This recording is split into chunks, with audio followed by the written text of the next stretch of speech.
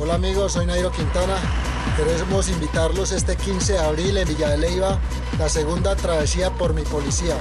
Organiza la Policía Boyacá para beneficio de todos los policías de nuestro departamento. Allá los esperamos. Policía Nacional, por una Colombia segura y en paz.